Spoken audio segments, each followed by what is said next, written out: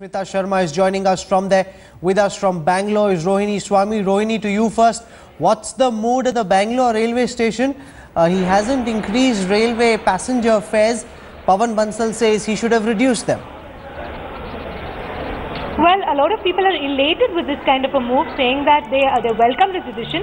In the same time, when we've told them exactly what the rail minister had presented uh, in the parliament today, a lot of them said, let that be implemented first, and then they would possibly be able to react. But I'll definitely ask you, sir, how do you react to the railway budget? Do you think it was a good budget, or do you think better it could have been done better? Ah, it, there is some improvement in the passenger-friendly attitude of the government.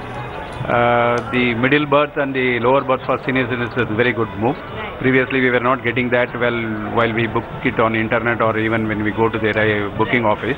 That is a very good move. And the CCTV on the women's compartment is definitely a move.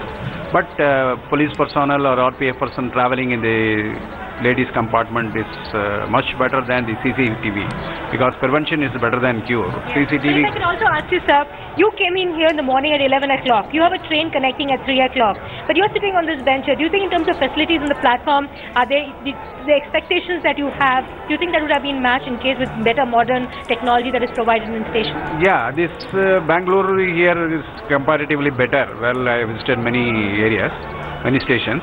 But the seats wherever I go, the seats for sitting is uh, they have provided this uh, stainless steel, which is very slippery and we cannot sit comfortably. Correct. So in these uh, granite seats or not, we don't have a back. There were Rahul bittersweet reactions coming in from Bangalore. They're hoping that that the promises that have been made they be implemented, and based on that, they say then possibly they can give them a thumbs up or thumbs down to the railway. Thanks, minister. uh, Rohini. Let's now go across to Smita Sharma in Delhi. What's the mood at the Delhi railway station, Smita? Well, as far as the capital is concerned, here at the railway station, Rahul, uh, honest confession, I don't think too many people here at the platform have followed the budget closely because they are here either to receive uh, their relatives or to board some trains themselves. But still, let's try and get a quick sense from people. So, uh, you know, the railway minister has announced certain amenities like introducing more mobile charging facilities within coaches, no hike in rail fares across the board, uh, trying to install more CCTVs in railway coaches. Do you think it sounds achievable?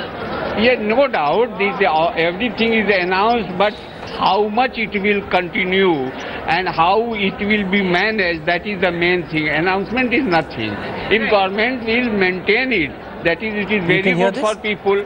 But only uh, what will be the announcement, purpose of announcement if there is a not implementation? तो ये बताइए कि जिस तरीके के announcements किए हैं rail मंत्री ने ऐसा लगा है कि कस्टमर्स के लिए उन्होंने कहा है कि एक नई हेल्पलाइन नंबर अनाउंस कर रहे हैं one three eight one eight two खाना जो है आप टिकट बुक करते वक्त आप कुछ खाना आप ई केटरिंग भी कर सकते हैं। इस तरह से कुछ सहूलियत होगी लोगों को?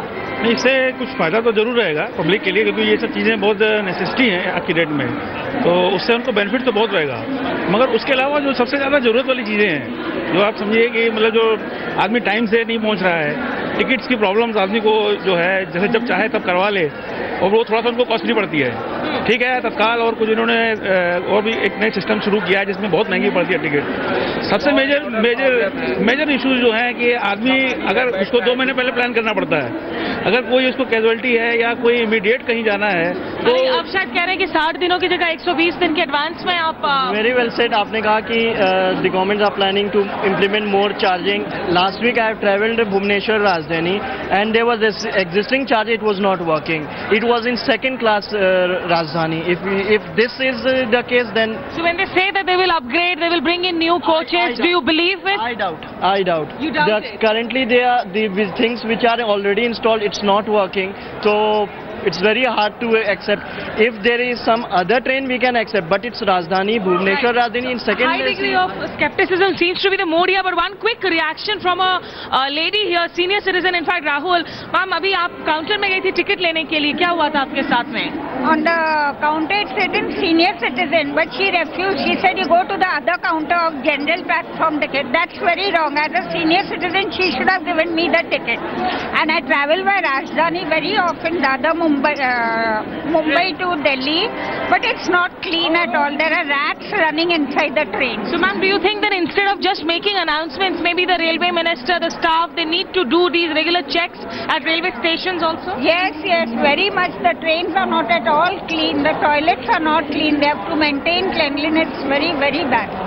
Well, of course, Rahul, you know, Mr. Prabhu is considered a technocrat, really somebody with uh, sincere intentions. But how much of these intentions will we see being achieved on the ground is, of course, a question that everybody here seems to be asking. But the key thing, of course, is that now we're seeing two different economic approaches. One says no freebies. Suresh Prabhu very focused. The other idea in Delhi is to give free bijli, free pani. That's what Kejriwal did.